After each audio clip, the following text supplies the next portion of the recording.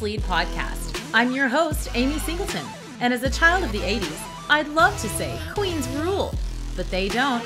Queens lead. Being a queen means you are worthy to be a leader of people. The guests on our show do exactly that. They are leading the way in their businesses, families, and communities. And they're taking their rightful place in the spotlight, leading and inspiring the developing queens in all of us. Welcome to the Queens Lead Podcast.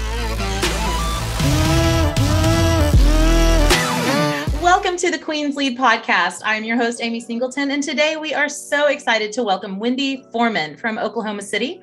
She is a realtor, a mother, a wife. Uh, she has had multiple philanthropic efforts through foster care and building homes. Welcome, Wendy. Thank you so much for joining us. Yeah, thank you for having me. We're excited to, to talk to you today. So, tell the guests a little bit about who Wendy is in business and personally.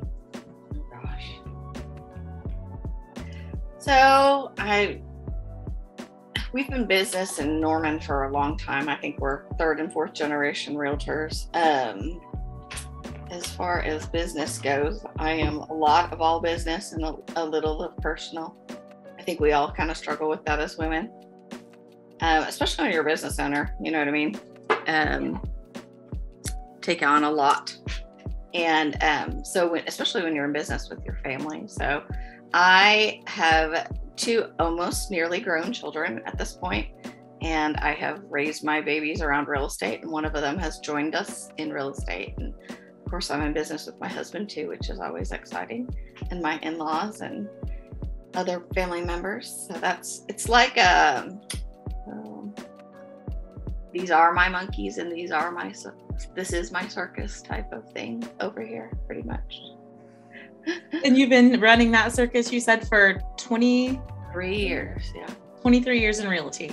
Yep. How what got you started in that? So interestingly enough, my husband had started the year before I. And of course, we were having little people at the time, and he was struggling.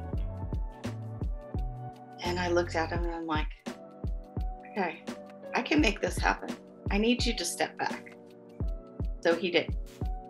And he let me take the lead role. And I think it's always interesting and important to understand where people have um, strengths and weaknesses across all areas of business and life. And so he did. He just stepped back and he let me take the reins, and I took over running the shit show, for lack of a better So, you know, I think that there is so early on, and I mean, we were in our 20s and we didn't know what we didn't know. So I jumped full on in because I'm one of those people that will jump in and figure out how to fly on the way down. I don't really care how I'm going to get there. I'll get there. I'm not worried about how I'm going to get there. I just jump in. And if I fail, it's no big deal because I've always understood that failure is part of the actual success process and if you fail, fail, fail, fail, fail, and then you succeed, the faster you fail, the quicker you're going to get there.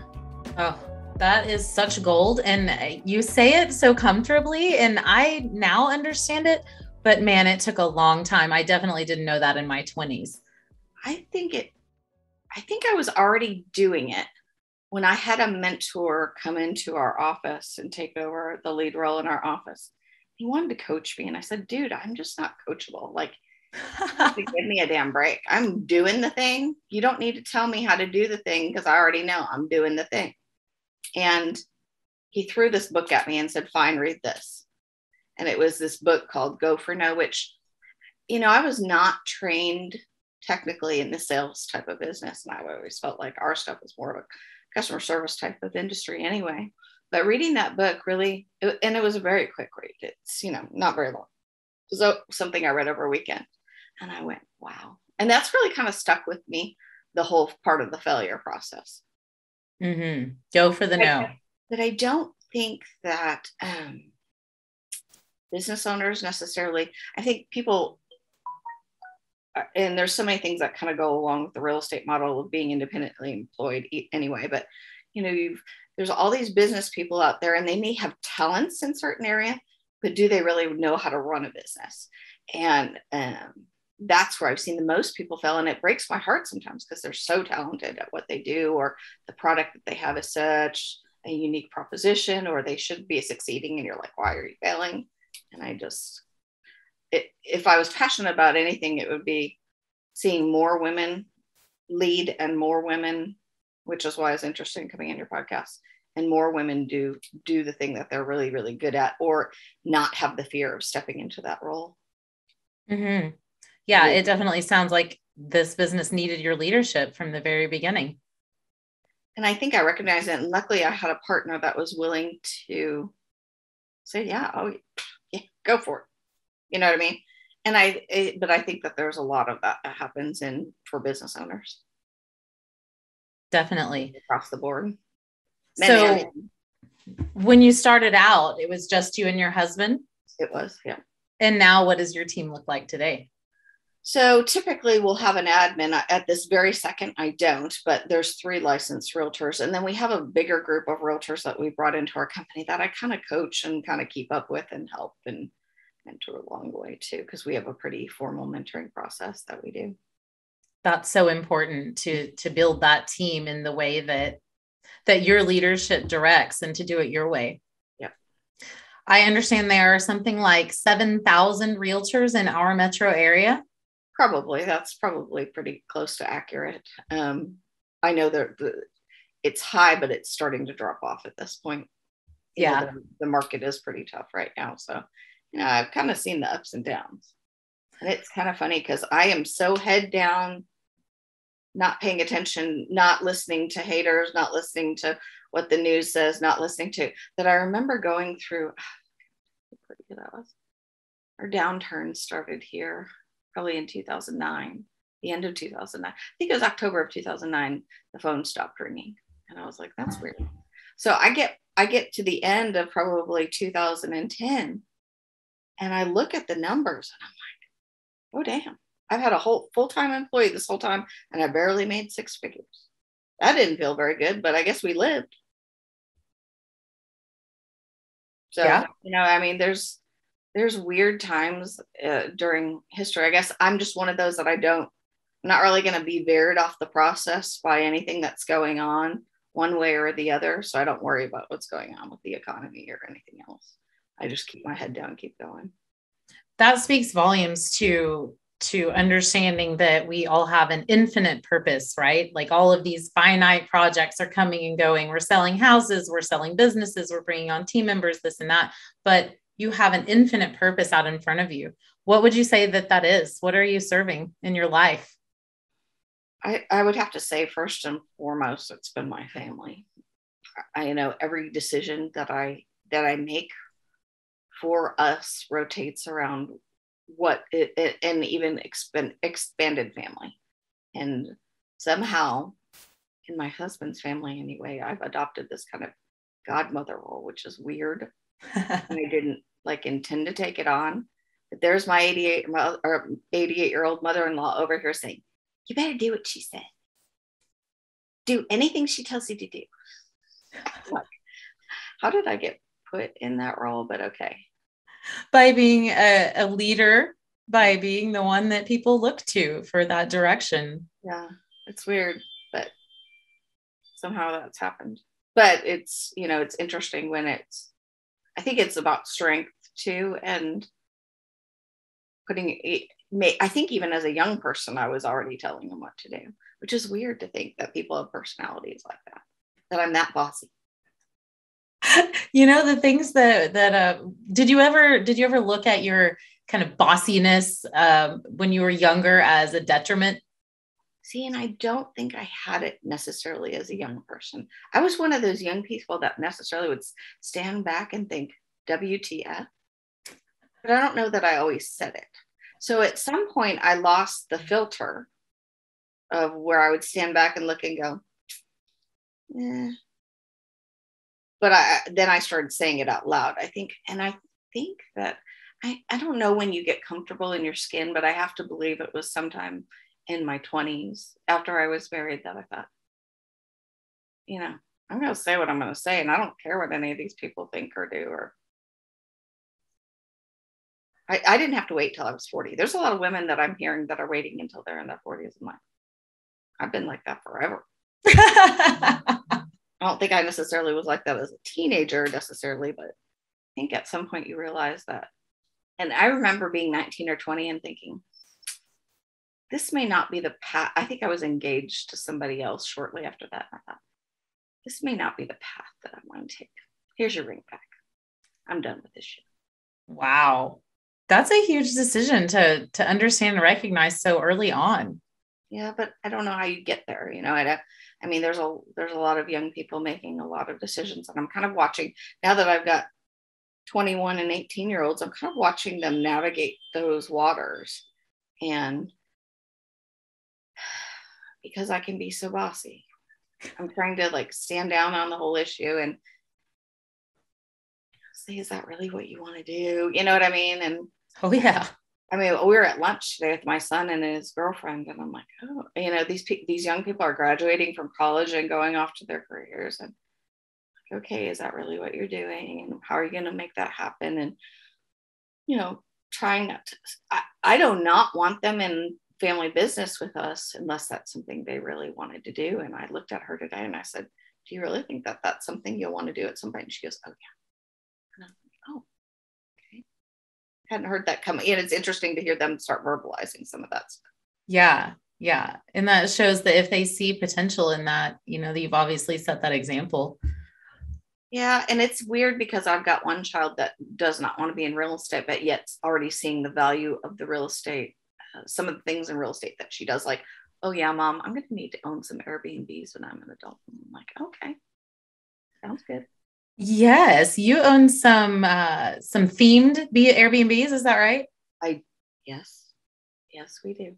Yes, we're doing some crazy shit. I love it. Talk and a little about those. I don't.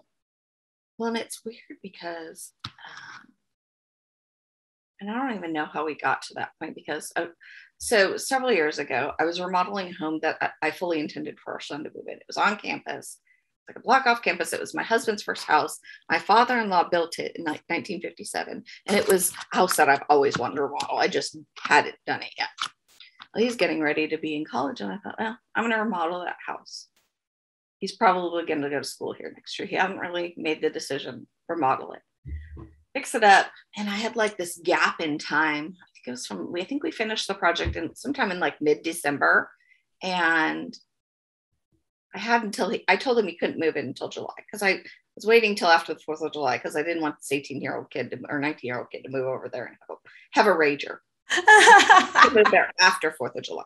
But, and so I had this gap of time and I told my husband, go get some of that furniture from the office and let's go stage that house and let's use it as Airbnb. And he's like, that's a horrible idea. Leave it vacant. And I'm like, leave it vacant for like seven months? No, take the furniture over there. I don't even care what you think about this. We're going to try this. So I did. And I pretty quickly, he realized that, oh, yeah, this could actually be a thing. Well, then, you know, as stuff started coming up and turning over, and his dad was getting further ill, and there were a couple of properties that his dad had that had never been upgraded. Then, you know, COVID happens. And I'm like, that property over there, that lady just moved out of it. It's completely vacant. It needs to be upgraded. Take your son over there and teach him how to remodel the house. I thought, who knows what's going to happen with all this mess? Just go do something. Get out of my hair. Get out of my house. Yes. Go do something in the fresh air. Teach him how to remodel and paint a house and rehab it and from top to bottom. So they did do that. And then we got real busy. And I was like, oh God, what did I do to myself? So I'm constantly like pulling them off. I need you to go show this house. they're like, but I'm in the middle of painting and I'm a mess. I'm like, I don't even care. So anyway, we're crazy, you know, and maybe I just like that we're crazy and we just do what we have to do to get stuff done. So then we started doing some theme stuff. My my my husband was like, okay, we're gonna do this one all of you because it's on campus. I'm like, that's a good idea. So then I accidentally one day I'm driving to show houses in Edmond, and this lady posts this thing, and I it looked she had bought stuff from an auction, but it looked like a whole restaurant full of OU paraphernalia. Mm-hmm. And I was like, I'll be at Nichols Hills at your house to pick that up here shortly. So we did that house all over OU, and my mother-in-law is just we've got it to where it's cash flowing so much money for her now and she just loves it. So then, you know, talk about telling the mouth. You tell you get an 88 year old where she's cash flowing a whole bunch and she's telling everybody. Yeah. So then, so then we had another one. We put another one of ours online. And then we had a couple. And then we did another one for my mother-in-law. We did that one all rock and roll because in the meantime my husband's aunt had passed. She had all this elvis stuff. So i call her son her our cousin. I'm like i need all the elvis crap. And he's like what? I'm like pull it out of the safety deposit box. I need all the elvis crap and so we did that one rock and roll and that's gone over big and then my husband's wanted to do a star wars themed one which is gone over real big and so we're doing a Marvel one. You know, we're just doing all these different things. And we've got a lake house one that we're working on that I'm um my uh cleaning lady was he had a tenant that moved during COVID and it was just a mess to clean out. But in their garage, we found all this Indian artwork, and this Cherokee artist had just recently passed away. So now I'm getting one ready that has all this amazing Indian artwork down at the lake. Right. Wow The middle of Chickasaw country. So that's going to be a fun one. So we just got lots of different things that we're doing. And now I've gotten my, I think, you know, you're an older sibling. So we've got, my husband has lost two of his brothers. And so we've got one older sibling left. And, um, you know, trying to counsel them into making good money moves.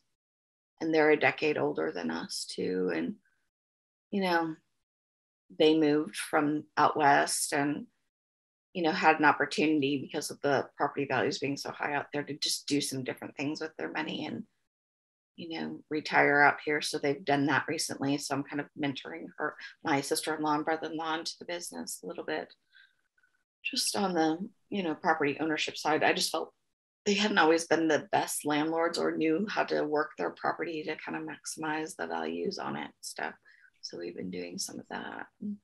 The kids are getting old enough. Her kids are all adults, and mine, for all practical purposes, are adults.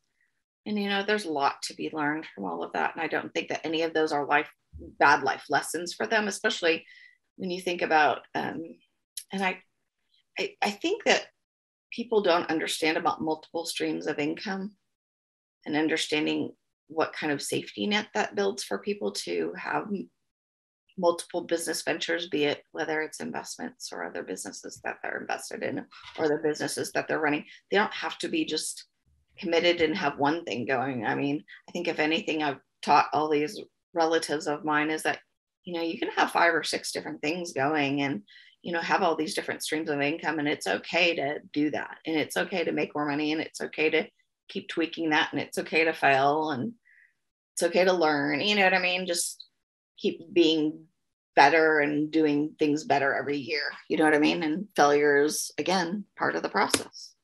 Oh, 100%. Uh, teaching, but teaching not only your kids, but an 88 year old elderly woman that they too can have that power of mailbox money is is huge.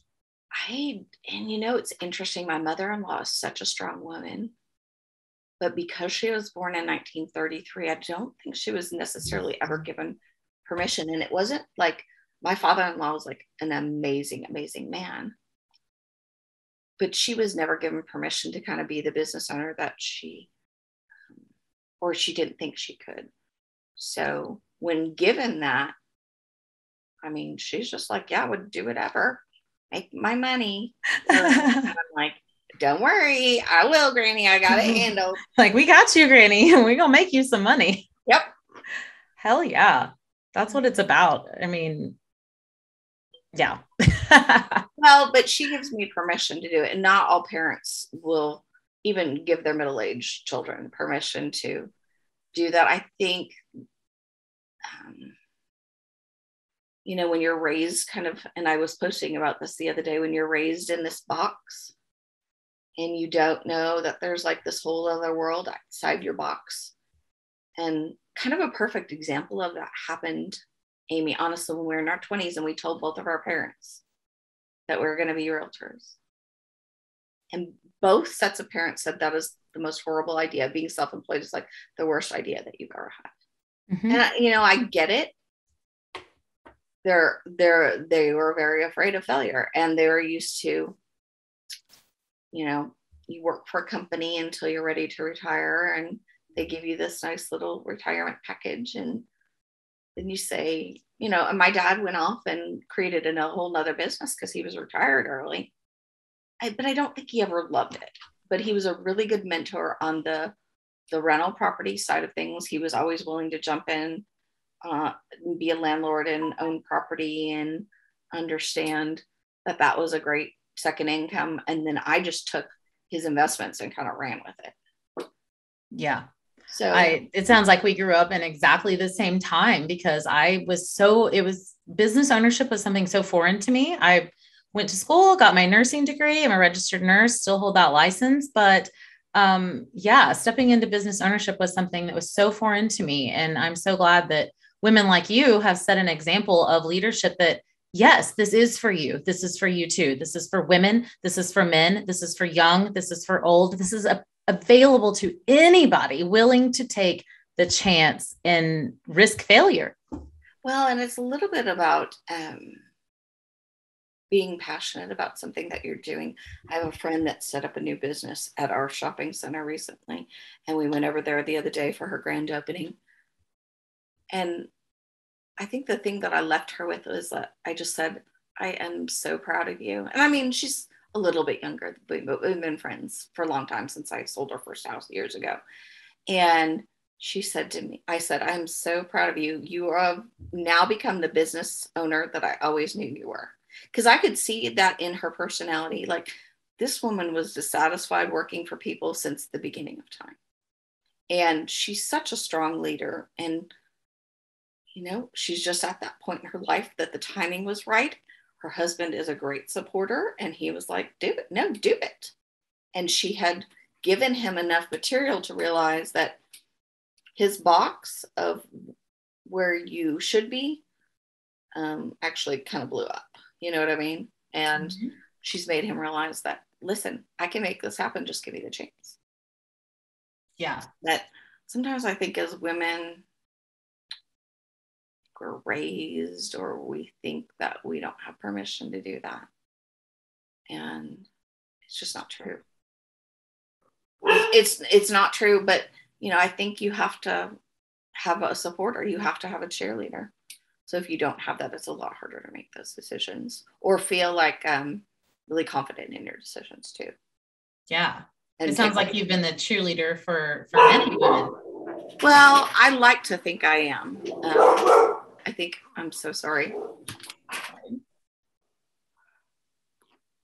I love dogs. Got to love mine especially. Um, but I think that I have been since the very beginning. Although I think uh, about probably about five or six years ago, some of my friends dragged me into some national type of speaking engagements and doing some stuff on our with our stuff on a national level and then i started doing some stuff with the national association of realtors and you know the california association of realtors has a women's group called women up and just kind of pushing that whole issue so i mean just kind of getting involved with those women's groups and realizing i, I again i'm kind of tunnel vision sometimes and i think there was a lot of time where I was focused on my little people while they were little. I wanted to office at home and be in my own bubble. I don't like working in office sometimes because there's 50 distractions and everybody comes into your office and they've got 50 questions, you don't realize how like much time that takes out of your day. So there's, you know, good and bad to being in offices. And I've always realized that. Yeah. And it was kind of funny because it was several years ago. I had pulled my assistant out of an office setup and we had moved to this new company. And she's like, I'm getting so much more done. I was like, yeah, that's because we're not being used as the broker to answer every question of every single realtor that walks in this office. Yes, yes. Putting those people in place underneath you so that you can rise to the next level of working on the business. Yeah, yeah. Is a struggle sometimes. Oh, it for sure is. And it's more of a struggle for those of us who are type A personalities and want to control everything. Yeah, yeah. Have you been able to to let go of some of that? What's your best advice for those of us who do struggle with that kind of letting go and delegating? I have I have I think you can find the you're not going to be good uh, at everything. So if there's I think what I learned pretty early on looking at my calendar, if you see those tasks, and I kind of live and die by my calendar, honestly. If it's not on my Google Calendar, it just doesn't even exist to me. Right. So if you kind of see those tasks that you're putting off and off and off, I identified those, and those are the ones that I started passing off and saying, mm-hmm. you know mm-hmm. what? I don't really want to do that guess what? I've been postponing that and it needs to get done. So guess what? It needs to go to somebody else to get it done. And so that was, that would probably be my best because I am, I struggle with the fact that I can get it done faster, I can get it done sooner, and I can get it done better. So there are certain things I will not pass off.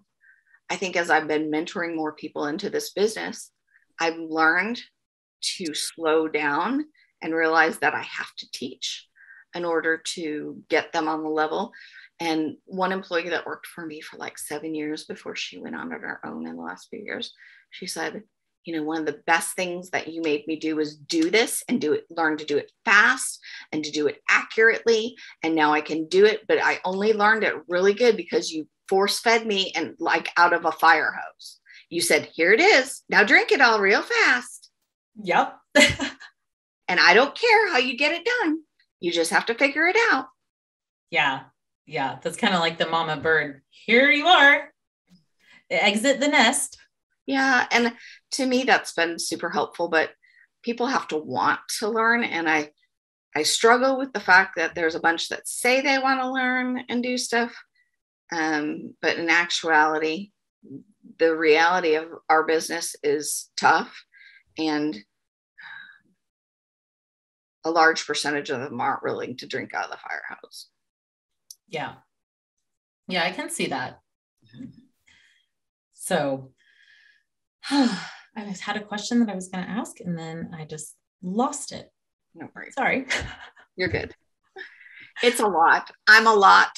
I yeah. myself. Oh, I love that you said you're a lot. Like, have you been described as a lot your whole life? I probably by my husband all the time. I think early on when we were young, he looked at me and he was like, Are you done? And I was like, Oh, you're the man for me. Walk back. Yes, yes. Strong women leaders, we need someone who will, you know, bump yeah. chests a little bit with us. Yeah. It's like, Are you done? And I'm like, Oh, yeah, I am. it means a lot to have a partner that gets you and yeah. gets that you're a lot and that's okay it sounds like you realized and accepted that you were a lot in your early 20s yeah. That's much sooner than most of us realize. So weird too to think about it. I guess you get a whole you know 20 years of perspective plus on it and you go yeah that's weird that i did figure that out early.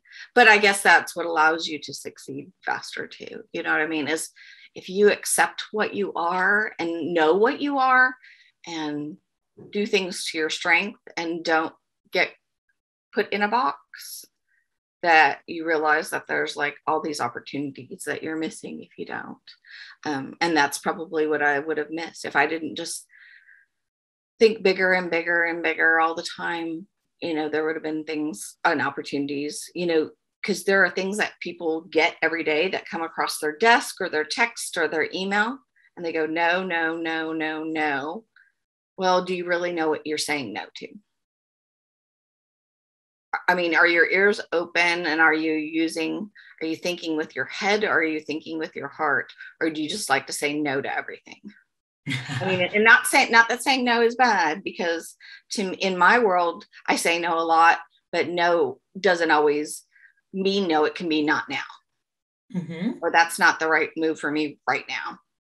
So when I realized that about people and about myself, and that I was able to somehow discern what the right things were to say yes to, or I made a decision that this is what we're doing, and I didn't let somebody tell me that I didn't have enough money, that um, that was too much work, um, that I wasn't going to be successful, that I just ignored all the outside influences. That's probably been my gift of everything was that I just ignored what everybody said and just, you know, plowed forward and didn't care what anybody said. My husband saying, no, no Airbnbs. I'm not bringing furniture over there. I'm like, yes, you are. Just do it now. Because I had already decided that's what we we're doing and I didn't care. What a gift to be able to decide. I've found I've learned so much recently that that that is that's a huge struggle for people to just make a decision whether it be about i mean at, at target there is an entire aisle of just tide laundry soap just for tide the whole aisle there's a whole nother aisle for other if we have that many choices in our laundry soap how are we supposed to make a choice in our lives the, the fact that you can decide and go with something and if you fail you fail but if you don't you never know and that that's such a gift to have that might be why i hate shopping and I refuse to go to the store. That might be why I hate shopping. And yeah. so when online shopping became a thing, I'm like, oh my God, I've been waiting for you forever. Just bring it to the house. Yes, COVID hits and you're like, hold on, this is my time. Yeah. this was made for me. I'm supposed to be doing everything online. Yeah. I love it. So with there being 7,000 ish realtors in in the state that are in the metro that people can do business with, what makes EXP Realty different? Uh, and I don't even know that it's my company that's different because there are a million different real estate companies. I think I'm pretty unique in that I can help people get to what they want. So I go out to their house and I see what we're dealing with, and I say, Well, do you want to do this or do you want to do that? This is how much money you make this way. This is how much money you make this way. What do you want to do? And so maybe me forcing them to make decisions for people that are harder to make decisions, or like I walked through a house in Moore yesterday and I said, okay, you need to do this, this, this, and this. And then we can go live on the market next week. And so my clients usually walk out of an appointment with me knowing exactly what they need to do. They know exactly how much time they have to give me to get the photographer there to take pictures of their house. And then we can move forward.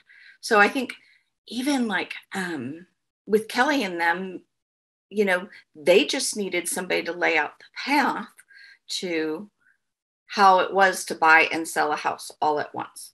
And mm-hmm. it's not the easiest thing, but it can be done. So just kind of creating a plan for people and giving them free will where they're making their own decisions about what they're going to do and not going to do. Uh, empowering them.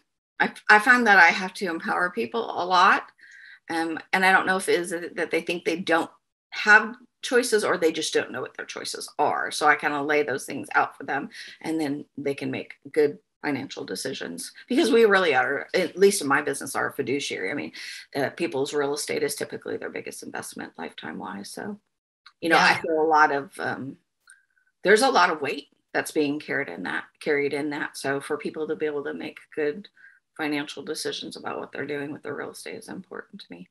The market yeah. right now has been crazy, and you know, with a bunch of other realtors in there, I don't really, like I said before, I don't I don't care how many realtors, they kind of come and go. I'm not worried about other people. I'm worried about our people and that they're successful, but I don't really worry about everybody, what everybody else is doing or what the market's doing or what the rates are. I mean, it doesn't matter because people still are going to have to buy and sell real estate. People are going to pass. People are going to lose spouses. People are going to have different points in their life that they want to get near their kids. I mean, there's all these different reasons why people buy and sell.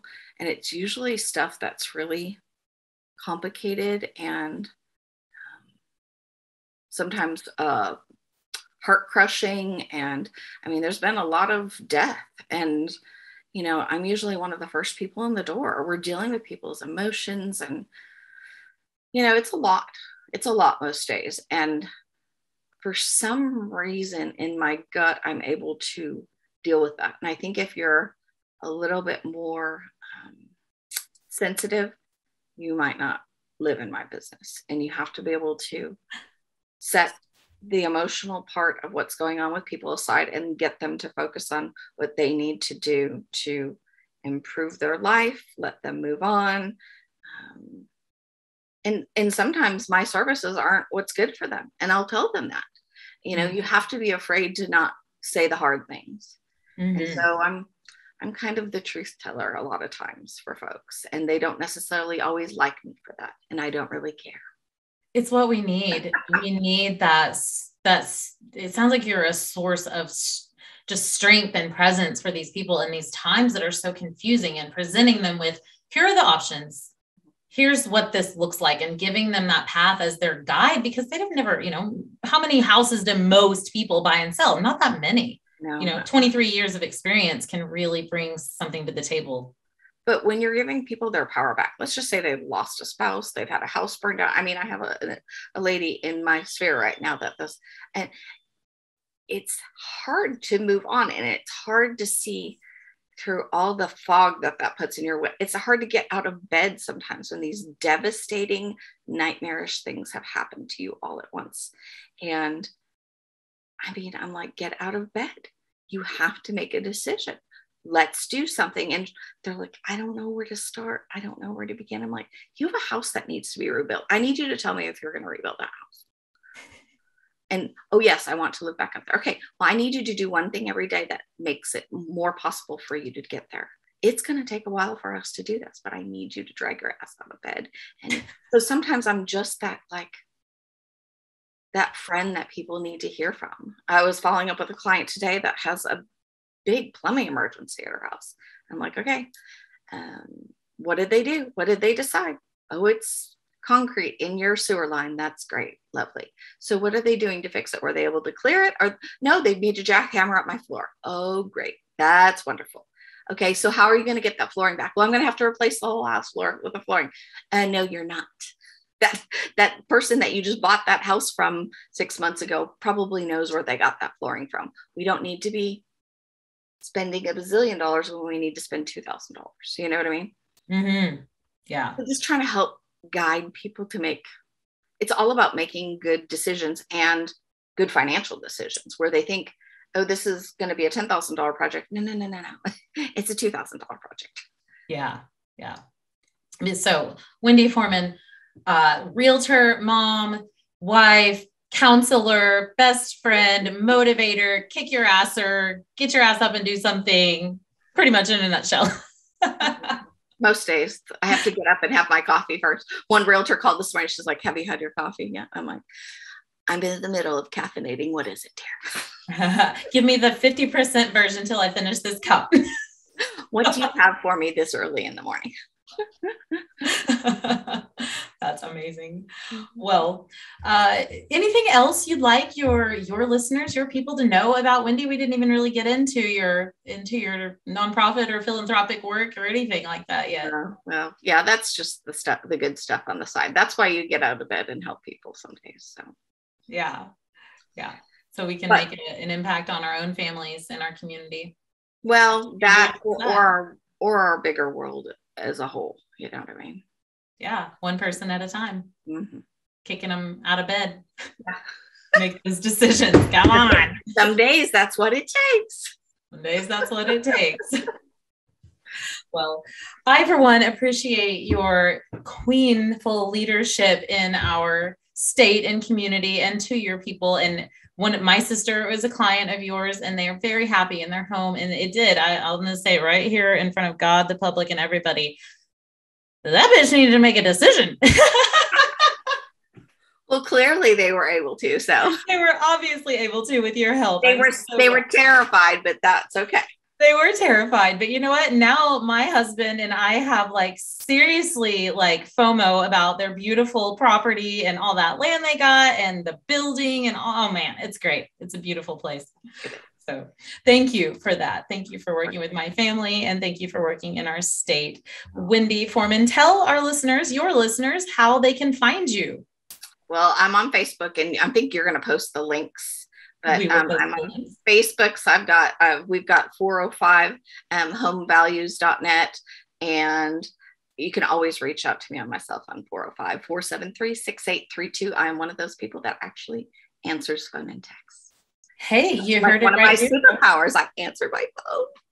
A real estate agent that will answer her phone. Give her a call. Visit 405house.net or find her Wendy Anderton Foreman on Facebook. Thank you so much for joining us, Wendy. We appreciate your queenful leadership and just keep doing what you're doing. Well, thank you for influencing me. Absolutely.